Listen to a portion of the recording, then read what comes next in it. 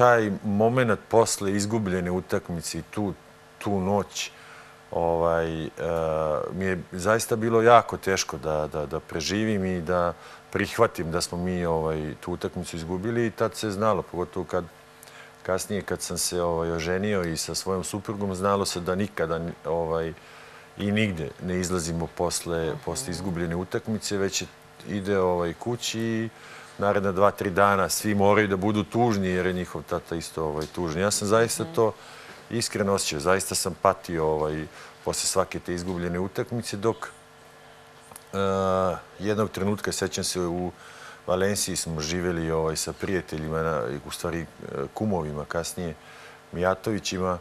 ovaj, e, me nisu naterali da izađem posle jedne ovaj, te izgubljene utakmice, gde se ja fenomenalno ovaj, proveo u smislu da sam vrlo brzo ovaj, u razgovoru sa njima i u, u društvu njihovom i moje supruge zaboravio na taj poraz i, i na neki način sam ga mnogo ovaj, lakše preboleo. Tako da i od tada sam počeo da praktikujem uobičajio da u stvari ovaj, i taj poraz koji su zaista sastavni deo svake te utakmice, jer jedna ekipa pobedi, druga mora da izgubi, nekako normalnije prihvatam i hvala Bogu nisam izgubio i dalje ovaj, bio tu želju za, za pobedom i glad za pobedom, ali poraz sam mnogo mirnije prihvatao.